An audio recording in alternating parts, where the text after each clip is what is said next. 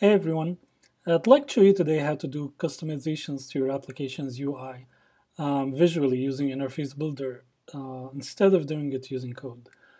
So what I have here uh, is an application that's very, very similar to the ones we've seen in previous videos. Um, just a simple or classic task entity with a uh, um, one-to-many relationship to a task step entity. Um, again, a master view controller that's completely empty and our storyboard here. So what we have here, so this is the master view controller. Well, there is an array of objects section connected to a task entity, as you can see here. And if we have a look at task entity, very similar to what we've seen before. Um, uh, this has been automatically generated from the core data model. And um, task steps here, it's connected to the task step entity, which is in turn just a very simple definition of the task entity here. Um, let's just first run this and see what we have got here.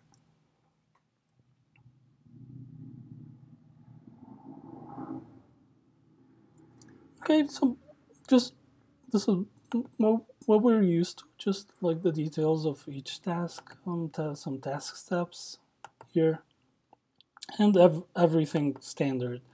Uh, what we're going to discuss now how we're going to be customizing every aspect of this application. So let's return back here. Uh, the first cell that we can customize is this cell, and this cell is basically a representative of all the cells that are generated for the tasks. And we can change the style here from um, a subtitle cell to a completely custom one and start dragging labels here. And um, let me just call this name. And what you've seen here is something very interesting that we've developed. Uh, it's called uh, curly brace binding which means the STV will automatically fetch whatever value is in the property called name and display it on this label. Uh, curly brace binding is uh, uh, is valid for labels, text views, and uh, text fields. So let me just take a copy of this here, and uh, let's say I want to display the category.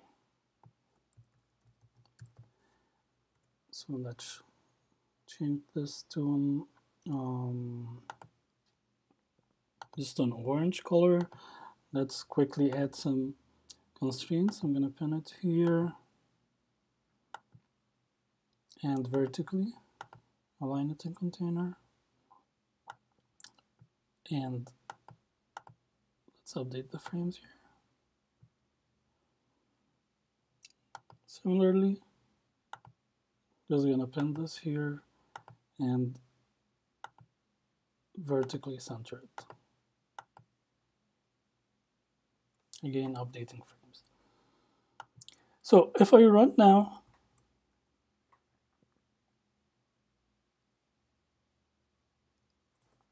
see like this is my custom cell and I can customize it in any way I want. And uh, since this cell is representative of all the other cells, you see it repeated getting like the, the, the data from whatever uh, data we have internally here.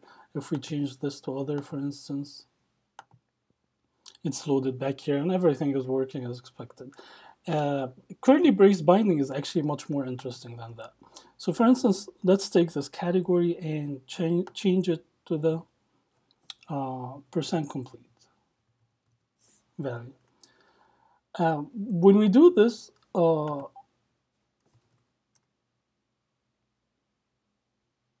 we have a slight problem here that the decimal places are sometimes not necessarily what we want and the user doesn't know what this number is. So with curly brace binding, we have added what we call prefixes. So you could now add any prefix or suffix to the to the to, to the binding. So for instance, I could add a percent mark here and I could specify the number of decimal places. For instance, if I put dot zero, I, I mean I want just one decimal place. So having this here, let me just update the frames here and run. So we're now getting the correct decimal place and we're getting the percent mark. What would the percent mark would of course be a challenging thing if you're using auto layout to, to add an extra Leben and and lay out this label uh, uh, individually for each field. So this saves a lot of time. So now let's check how we're going to be able to customize the detail view. So if we're easily full, so this view is fully customizable very easily.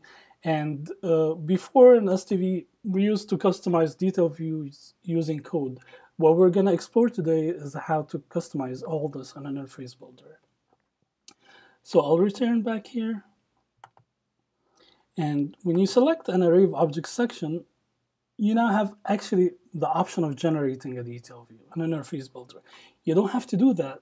You could still work the old way, uh, but th this is just an alternative convenient way of customizing the detail view writing code.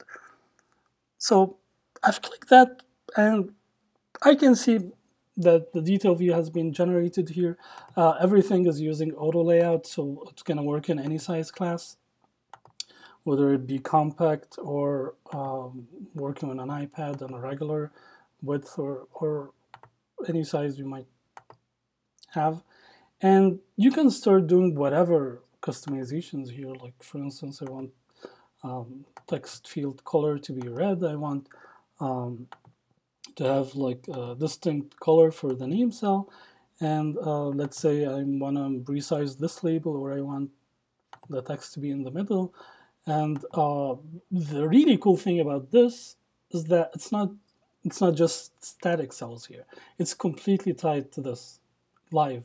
Uh, for instance, if the details here I changed from the title to description, for instance.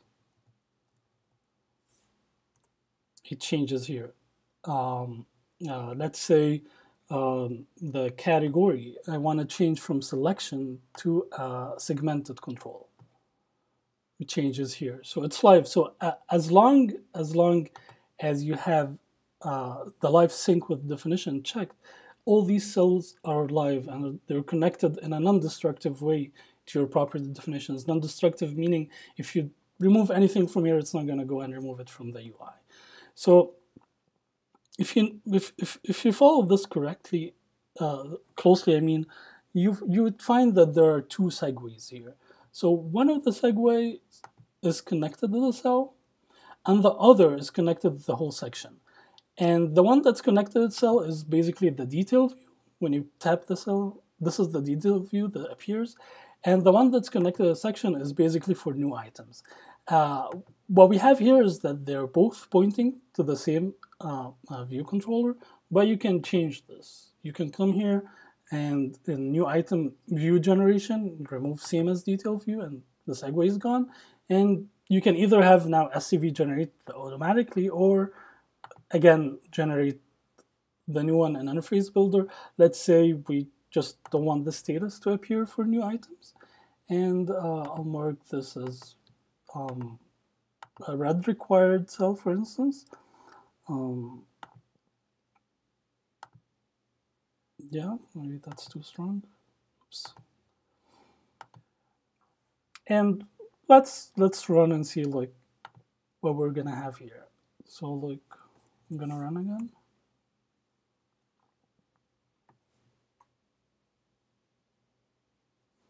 Okay, so as you can see, like all our customizations, the text here is uh, red, the color, the background color, and the category. Instead of being a, uh, on its own detail view of selection, I'm I'm just doing it right here. So like, um, and yeah, and it can change everything. And um, let's go to the new detail. As you can see, like it comes without the status section, and the colors are different here. Um, let me test this.